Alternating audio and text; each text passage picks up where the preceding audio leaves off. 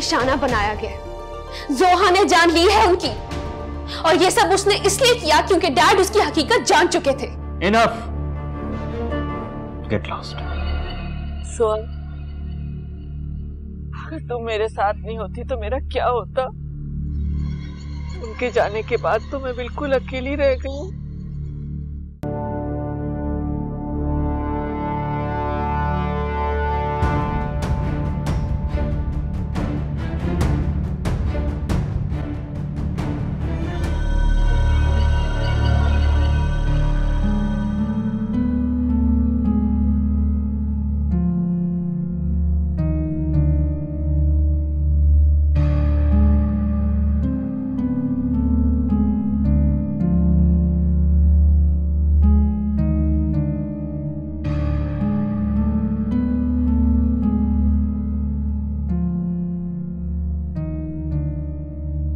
सरकार? जहाँ भी है फ़ौरन आके मिल मुझसे। आया सरकार। चल सरकार ने बुलाया।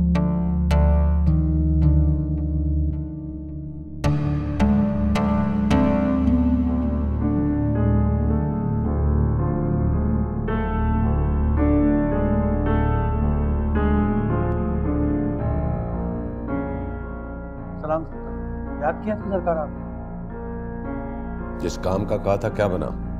जी सरकार मैंने अपना प्लान मुकम्मल कर लिया। वो कब कहाँ जाता है सब पता करा लिया है रात 11 बजे के करीब वो जिमखाना क्लब से निकलकर अपने घर की तरफ़ जाता है। किसी भी सुनसान जगह पर रोक कर उसका काम तमाम कर दूँगा आज रात। अभी नहीं अभी एक और काम करना है। उस औरत की शक्ल सूरत जानते हो ना जिसकी बच्ची अगवा की थी तुमने? जी सरकार। मुझे शक है कि वो इस वक्त एडवोकेट राफे के घर में है। ये एडवोकेट राफे का घर का एड्रेस है।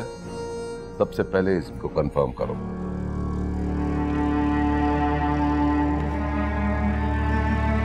मेरा शक इसके साथ साथ आप पर भी जा रहा है। क्योंकि ये गाड़ी इलाके में मशकूक मूवमेंट करती हुई पाई गई है। तुमने अच्छा किया मिनाल जो मुझे जोहा के बारे में इतना कुछ बताया।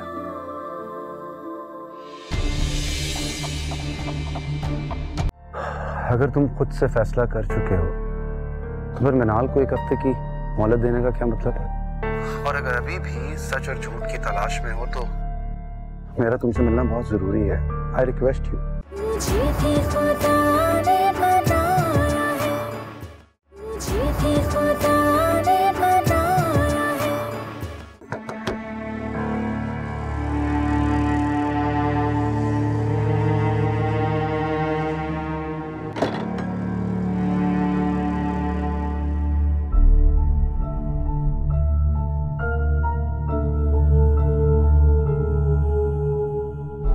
मैं साहब को बता रहा हूँ। रुको। क्या बताओगे? यही क्या इंस्पेक्टर आया है। मैं खुद बता दूँगा। तुम लोग तो जाओ।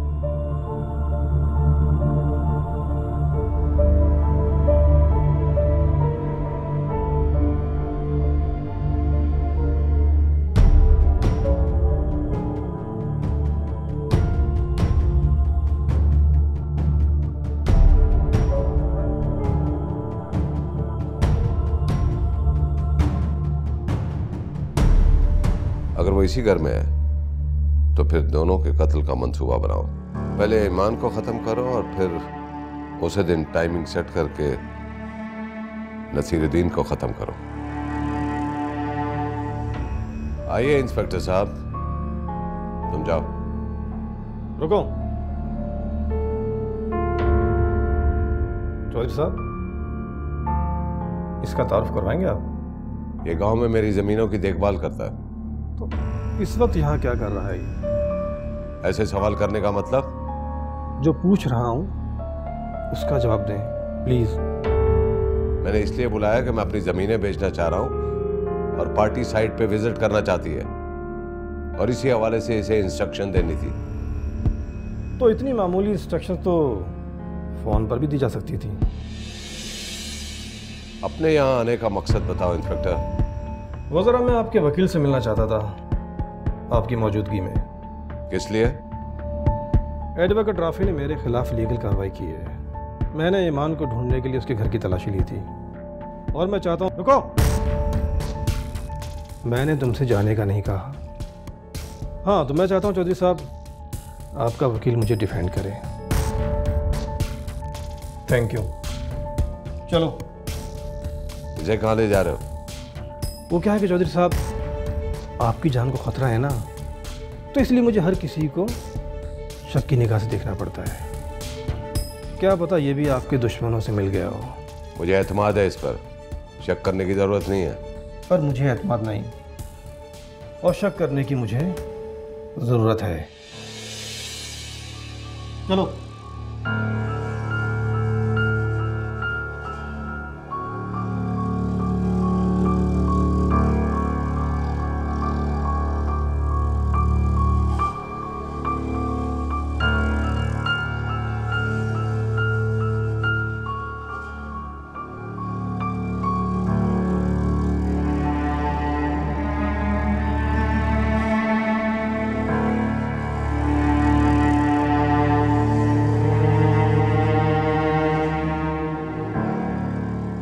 गाड़ी किसकी है?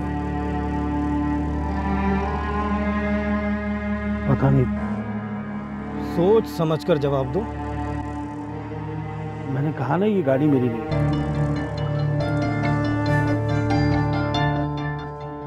चौधरी साहब, आपका ये आदमी मजीद मशकूक हो गया है। अगर ये मान लेता कि ये गाड़ी इसकी है तो शायद आपके हक में अच्छा होता। मेरा शक इसके साथ साथ आप पर भी जा रहा है। क्योंकि ये गाड़ी इलाके में मशकूक मूवमेंट करती हुई पाई गई है। इसलिए आप मुझे बताएँगे ये गाड़ी किसकी है और यहाँ क्यों खड़ी है? ये गाड़ी मेरे नाम पर इसीलिए मेरे घर में खड़ी है।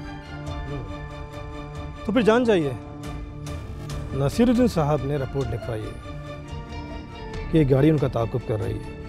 और उनकी जान को खतरा है। अगर उन्हें किसी किस्म का भी कोई नुकसान पहुँचा ना तो याद रखिएगा, पहला एक्शन आपके खिलाफ होगा। चलो।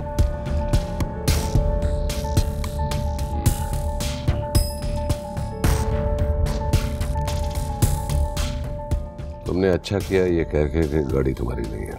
इस गाड़ी को भूल जाओ। तुम्हें दूसरी गाड़ी मिल जाएगी। और अब नसीरुद्दीन के टारगेट को भूल जाओ। अब टारगेट सिर्फ़ ईमान को करना है और ज़रा एहतियात से। क्योंकि इंस्पेक्टर की मुसलसल नज़र तुम पर है। जो हुकुम सरकार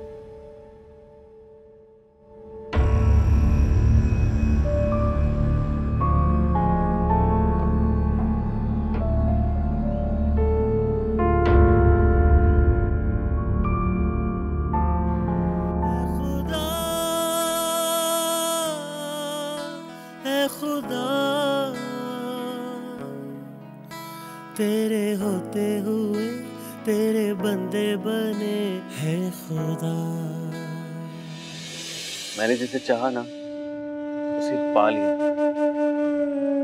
हर हाल में ज़िंदगी के हर कदम में मेरा साथ दोगी। आपको कोई शक है क्या? तुम्हारी हाँ सुनना चाहता हूँ क्योंकि कुछ मामला में खुद को ऐसे उलझा लेता हूँ। मेरी खुद समझ में नहीं आता कि मैं क्या करूँ।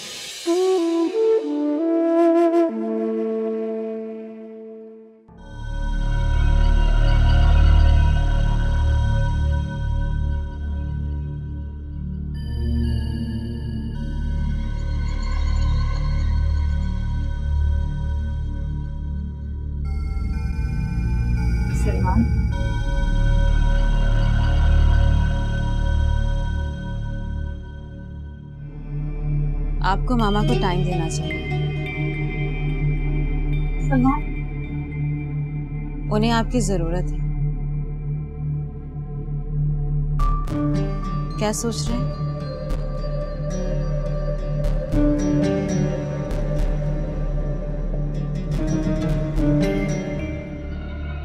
मुझसे मामा की हालत देखी नहीं सकती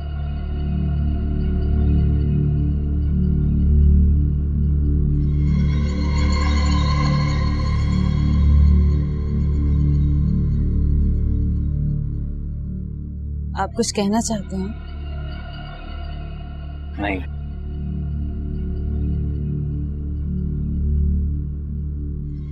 मैं सोच रही थी कि हम मामा का गम एक ही सूरत में कम कर सकते हैं। उन्हें पोते की खुशी देकर। ताकि उनका गम खुशी में बदल जाए।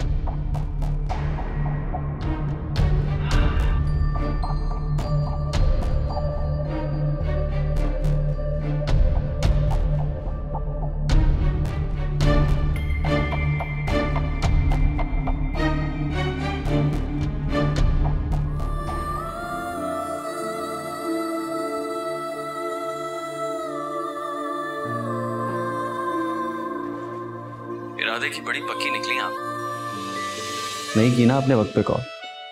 देखिए हम एक जान के दुश्मन क्यों बने हो? आप नहीं जानते कि मैं किस पोजीशन में हूँ। आप शादीशुदा हैं? जी जी नहीं। एंगेज्ड हैं? नहीं तो? किसी के साथ अफेयर में ये किस किस्म की बातें कर रहे हैं आप? तो आप खुद ही बता दीजिए आप किस पोजीशन में देखिए मैं एक बहुत ही पर्दादार घराने से ताल्लुक रखती। हूँ अगर मेरे बाबा जान को पता चल गया ना कि आप मेरे लिए यहाँ फ़ोन करते हैं तो तो? तो मेरी मौत के जिम्मेदार आप होंगे। देखिए ये हो नहीं सकता कि मैं आपको देखे बगैर बाज आ जाऊँ। आपको एक बार तो मुझसे मिलना पड़ेगा।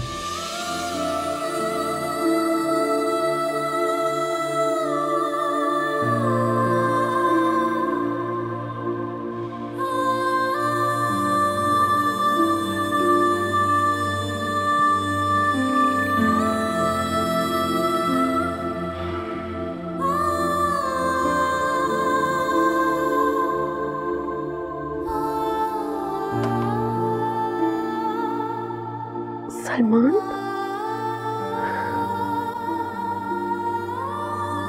हेलो तुमने अच्छा किया मिनाल, जो मुझे जोहा के बारे में इतना कुछ बताया।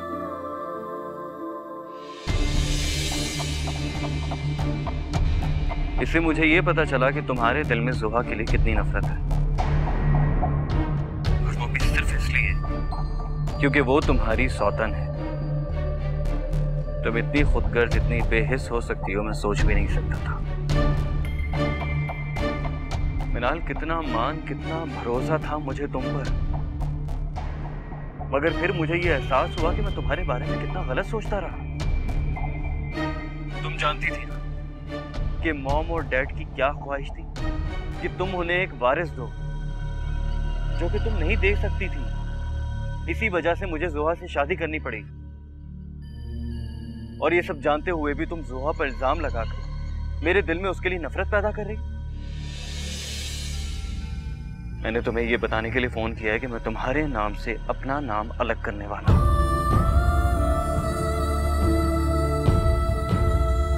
और अगर तुम्हें लगता है कि मैं ऐसा करके गलत करूँगा तो तुम्हें साबित करना होगा कि मैं गलत हूँ। मिनाल तुम्हारे पास सिर्फ़ एक हफ़्ते का टाइम है कि मेरे पास तुम्हें तलाक देने का कोई जवाब नहीं।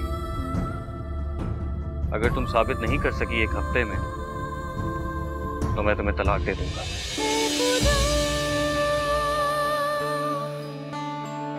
खुदा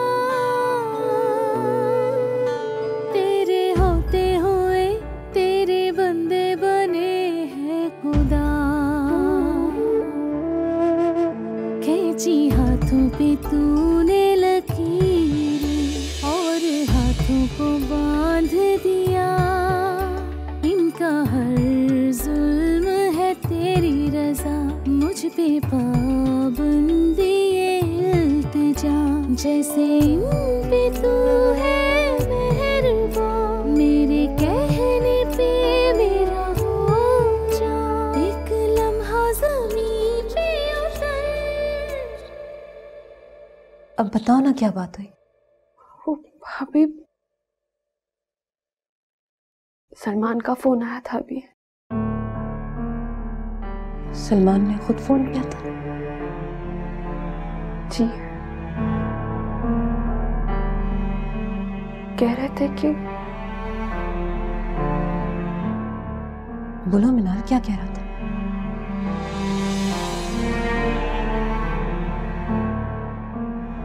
सलमान कह रहे थे कि अगर मैंने एक हफ़्ते के अंदर अंदर जो इल्ज़ाम जुहा पर लगाया वो साबित ना किया तो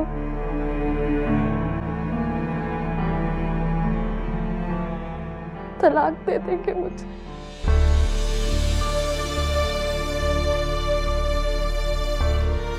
भाभी भाभी, आपको मेरी मदद करनी पड़ेगी।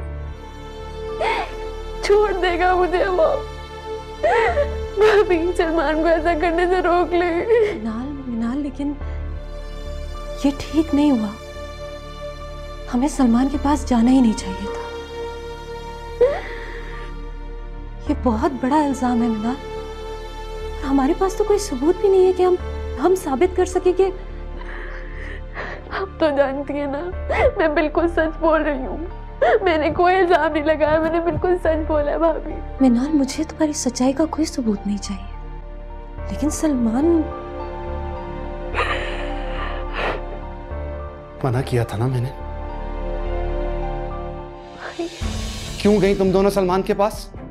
वो वो दरअसल आफाक क्या मतलब? भरोसा नहीं था ना मुझ पे? प्लीज़ कुछ करे ना। मैंने कहा था मैं उससे बात करूँगा। मैं मैं तुम्हारा घर बर्बाद नहीं होने दूँगा।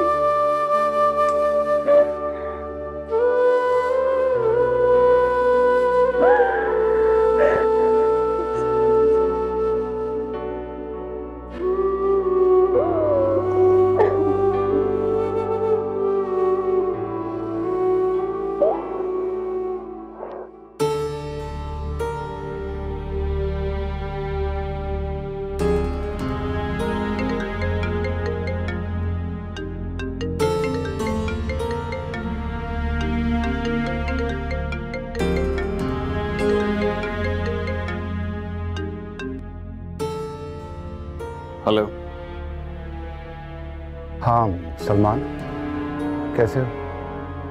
ये सब छोड़िए। काम क्या है ये बताएँ। बात करने के लिए मिलना चाहता हूँ। जो कुछ कहना है फ़ोन पर कह दें। अगर तुम खुद से फैसला कर चुके हो तो फिर मिनाल को एक हफ़्ते की मोहलत देने का क्या मतलब है?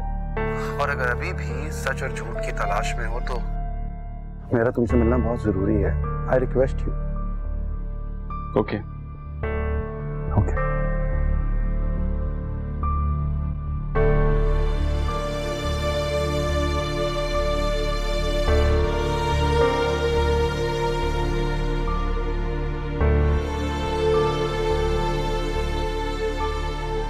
Minal से शादी करना तुम्हारी जिद थी ना? तो मैं क्या समझू? तुम्हारी मोहब्बत अंधी थी? या तुम्हारी नफरत अंधी है? देखो दो बातों का ख्याल रखना। एक तो ये काम एक हफ़्ते के अंदर अंदर होना चाहिए और दूसरा ये सौ करोड़ से कम नहीं होना चाहिए। जी ठीक है। नहीं बहुत शुक्रिया।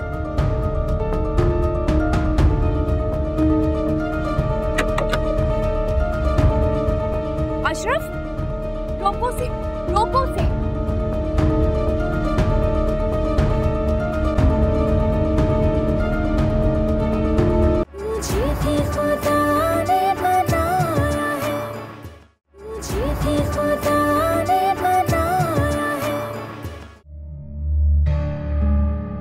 आंटी की तबीयत कैसी है अब हम्म? हम्म ठीक है। अगर मैं कहूँ सलमान के मुझे मिनाल पे अंधा एतमाद तो? मुझे भी मिनाल पर अंधा एतमाद था। आप लोगों से कई ज़्यादा। लेकिन जो कुछ मैंने अपनी आँखों से देखा है तुमने जो देखा वो धोखा था। वो धोखा जो तुम्हें दिखाया गया है। देखो फहाम कल वैसे भी अफाक भाई यही सारी बातें। मैं जानता हूँ कल अफाक भाई तुमसे मिलकर गए हैं। लेकिन एक बहन का भाई होने के नाते मेरा भी फ़र्ज़ बनता है कि मैं आकर तुमसे मिलूं। ताकि उसकी सफ़ाई पेश कर सकूँ। अगर बात करने का मौका दिया है तो फिर बोलने का भी मौका दो। बोलो। तुम्हारे डैड को तुम्हारी दूसरी बीवी की असलियत मालूम हो चुकी थी। उन्होंने खुद मिनाल को बताया कि वो बहुत जल्द जोहा को एक्सपोज करने वाले थे। इसलिए कि मिनाल ने जो कुछ उन्हें बताया वो उस पर यकीन कर बैठे थे। और तुम्हें क्या लगता है कि अंकल इतने कम अकल थे? कि वो महज किसी की कुछ कही हुई बातों पे ऐसे यकीन कर लेते? क्योंकि उन्हें जोहा से ज़्यादा मिनाल से हमदर्दी थी। हालाँकि ये हमदर्दी तुम्हें होनी चाहिए थी।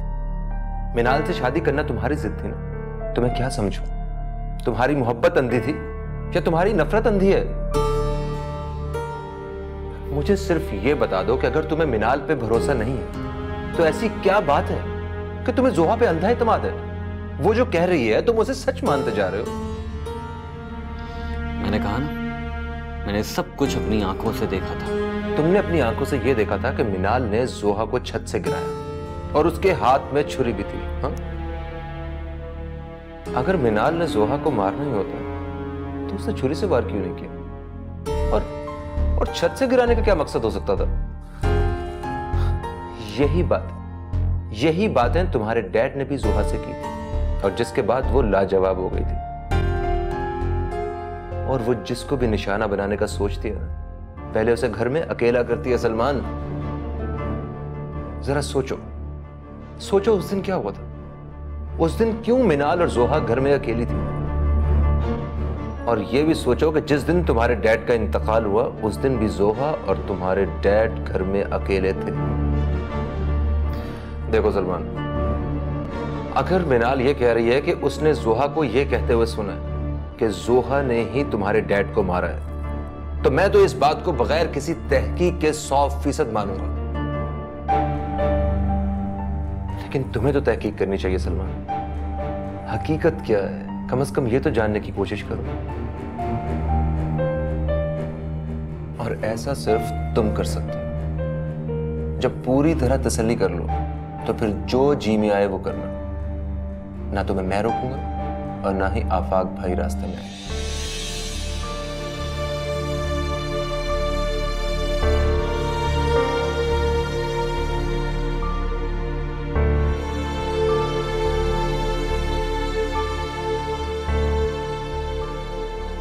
जी हाँ कोई। हाँ मेरी सलमान से बात हो गई है। शायद उसे हमारी बातों पर यकीन आ जाए। हम्म, बाकी तफसीलात मैं आपको घर आके बताता हूँ। ठीक है?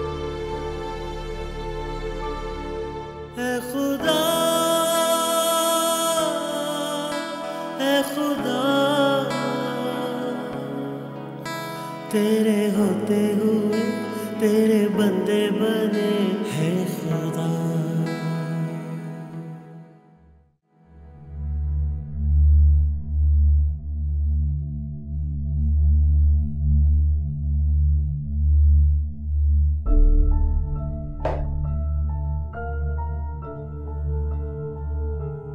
सर, सारी डिटेल मालूम कर लिया उस गाड़ी के बारे में। गाड़ी मरगूब अहमद चौधरी के नाम पर है। गाड़ी की नंबर प्लेट शक्कर की है। ठीक है? तुम जाओ।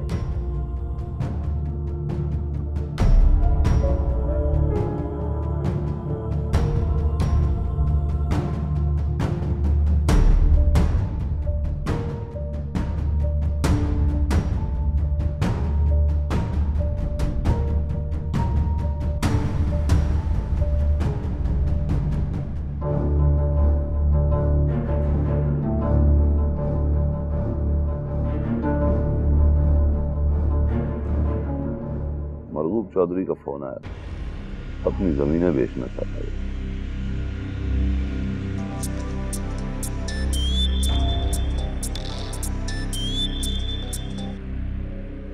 हेलो? तारा? कैसे हो? अच्छा हूँ। तुम सुनाओ कैसे हो? हाँ, ये बताओ कि ये मैंने सुना है कि मरूब चौधरी अपनी ज़मीनें बेचना चाह रहा है। हाँ बड़ी हैरत हुई मुझे ये सुन के। कि तुमने उसे अपनी जमीनें बेचने पर मजबूर किया है। तारा बातें तो मेरे पास भी हैं बहुत कहने के लिए। मुझे उन्हें सुनकर तुम्हें बहुत हैरत होगी। हाँ समझ नहीं आ रहा मुझे कि तुम लोगों की बचपन की दोस्ती इतनी दुश्मनी में कैसे बदल गई। ये बातें तो कभी हम जब मिलेंगे तो मैं तुम्हें तफसील से बैठ के बताऊँगा। फ़िलहाल तो तुम मरकूब चौधरी से कहो कि अपनी ज़मीनें मुझे बेच दें। तुम? तुम क्यों खरीदना चाहते हो जमीनें? देखो दारा वो ये गलती कर रहा है अपनी ज़मीनें बेच के। और मैं जानता हूँ कि जिस दिन उसको एहसास होगा तो ये ज़मीनें उसे वापस नहीं मिलेंगी। और मैं इसीलिए ख़रीद रहा हूँ कि जब उसका बुरा वक्त आए और तबाह और बर्बाद हो जाए तो मैं ज़मीनें उसे वापस कर दूँ। मुझे समझ नहीं आ रहा ये सब चल क्या रहा है। तारा देखो तुम उससे बात करो और समझाओ। कि ये ज़मीनें मुझे बेच दे। नहीं इस पर नहीं राज़ी होगा वो। खैर छोड़ो ये बताओ कि वो किस स्टेट एजेंट के थ्रू ये सारी ज़मीनें बेच रहा है? एजेंट का नाम तो नहीं पता मुझे लेकिन नंबर है उसका मेरे पास। एक पार्टी को लेकर आया था वो जमीनें दिखाने के लिए। गुड तुम एक काम करो कि उस स्टेट एजेंट का नाम और सेल नंबर मुझे टेक्स्ट कर दो। देख लेना नसीरुद्दीन कोई लोचा नहीं कर देना। यकीन करो दादा मैं ये सब जो कुछ भी कर रहा हूँ। मरगूब चौधरी की भलाई के लिए कर रहा हूँ। हम्म अच्छा है। कल तुझे भेजता हूँ एजेंट का नंबर।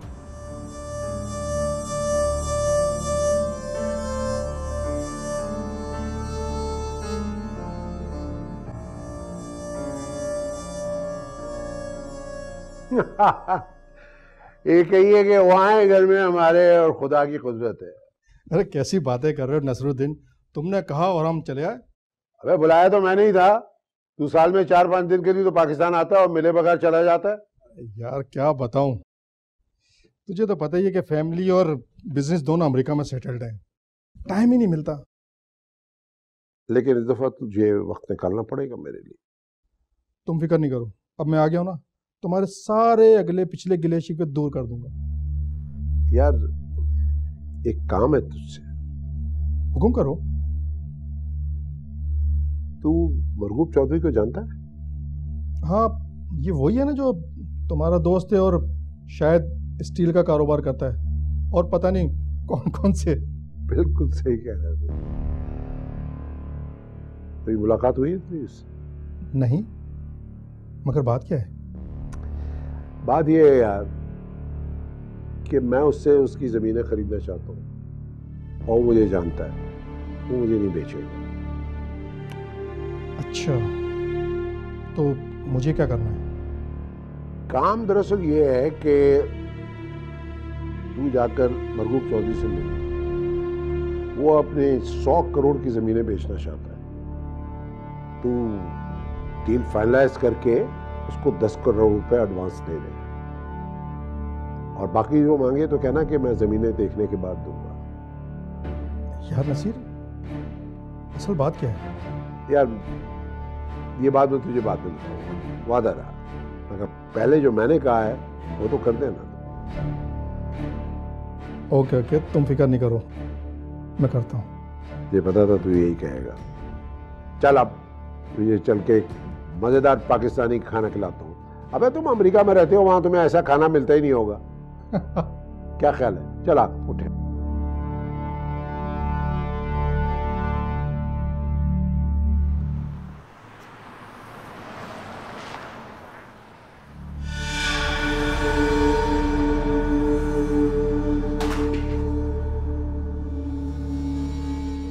अरे सर, आप, आपने आने की क्यों जहमत की? मुझे कहते थे मैं खुद घर आ जाता। ये फॉर्मेलिटीज छोड़ो। मुझे बताओ कि सूरत हाल संभलने में आई या नहीं। नहीं सर, सूरत हाल तो मजीद बिगड़ती जा रही है। दोनों रनिंग प्रोजेक्ट जो है क्लाइंट ने रुकवा दिए हैं और दोनों बैंकों से नोटिस आ गए हैं। एक हफ़्ते में इंस्टॉलमेंट पे करने को कहा है।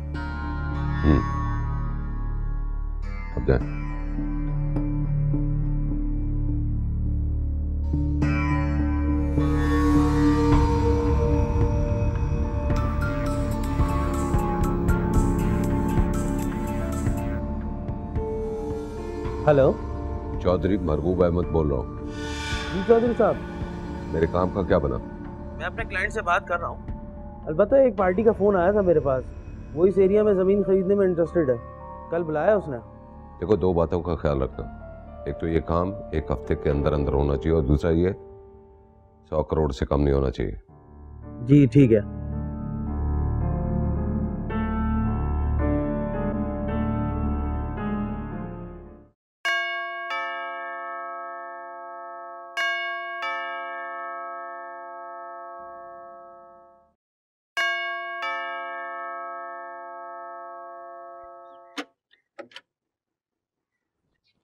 वालेकुम। मैं मर्दम शुमारी के ऑफ़िस से आया हूँ कुछ मालूम लेनी थी साहब घर पे हैं क्या? आप तो बाहर गए ओहो अच्छा तो फिर आप ही बता दें आ, कितने लोग हैं इस घर में इस वक्त? घर में तीन दो। दो या तीन? बताओ ना दो ओ अच्छा दो। दो यानी कि साहब उनकी बेगम। जी। ठीक।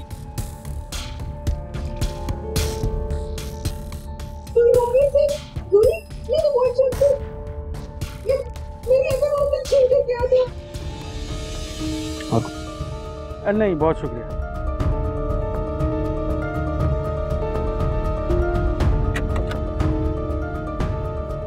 अशरफ रोको से रोको से।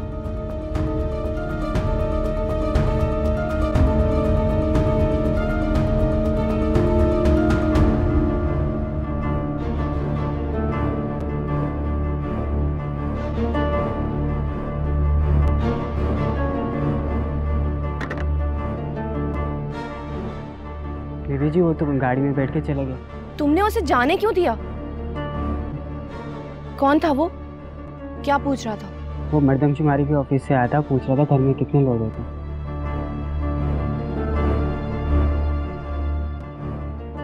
तुमने उसे क्या बताया? तो मैंने बताया कि दो लोग रहते हैं साहब और बीबी जी। ओके ठीक है तुम जाओ। जल्दी घर आ जाओ। क्या बात है खैरियत तो है। नहीं राफेज सब गड़बड़ हो गई है। कोई आदमी आया था। जिस शख्स ने उसकी बच्ची को हॉस्पिटल से किडनैप किया था वो हमारे घर आया था। उसने ईमान को वहाँ पर देख लिया हमें जाना होगा। तो चलो जल्दी चलो। अफाक नो नो मुझे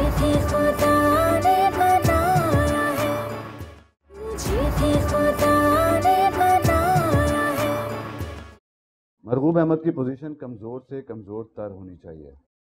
वरना केस तो उसका स्ट्रांग है ही। फ़िक्र करने की कोई बात नहीं है मैंने ऐसा निशाना लगाया है ठीक उसके माथे पे जाके लगेगा। और जो इंस्पेक्टर कबीर है उसको भी मैंने कॉन्फिडेंस में ले लिया और उसने मुझे ये भी बता दिया कि मेरा पीछा कौन कर रहा है। ज़रूर इसका ताल्लुक भी अब्बा जान से हाँ ठीक कह रहे हो तुम लेकिन अभी हमें कुछ नहीं कहना चाहिए। अभी हमें कंसंट्रेट मरगूब चौधरी पे करना चाहिए। बस सिर्फ़ एक बार। एक बार उसकी इब्राहिम से डील हो जाने दो। सारे के सारे मामला हमारे हाथ में बड़े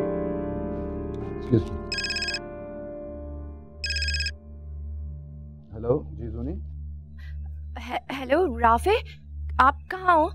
जल्दी घर आ जाओ। क्या बात है खैरियत तो है? नहीं राफेज सब गड़बड़ हो गई है। कोई आदमी आया था इन्फॉर्मेशन ले रहा था गेट कीपर से कि इस घर में कितने अफराद रहते हैं। और उसने बता दिया अच्छा वो उसने देख लिया है ईमान ने उसे। और वो कह रही है कि ये वही आदमी है जिसने अदन को किडनैप किया था। Oh एक काम करो सिक्योरिटी गार्ड से कहो कि अलर्ट रहे मैं अभी आ रहा हूँ। प्लीज़ जल्दी आ जाए राफे। ओके अफेब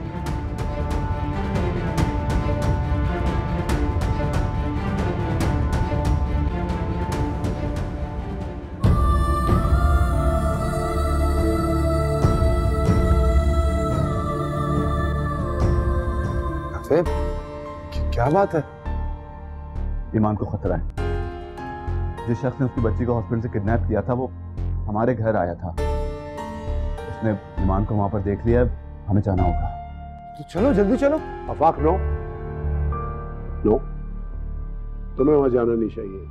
बल्कि ईमान के सामने तुम्हें नहीं जाना चाहिए। लेकिन लेकिन अंकल? मैं हूँ ना। You worried? हर चीज़ हैंडल कर लूँगा। प्लीज़ राफे, आइए।